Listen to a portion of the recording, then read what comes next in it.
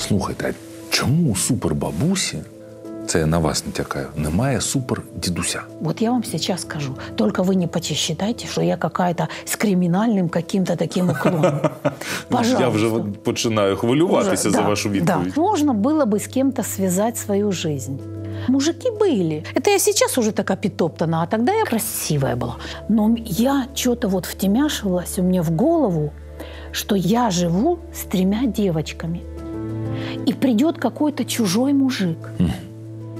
И не дай бог он моим детям ну что-то сделает, побьет, изнасилует.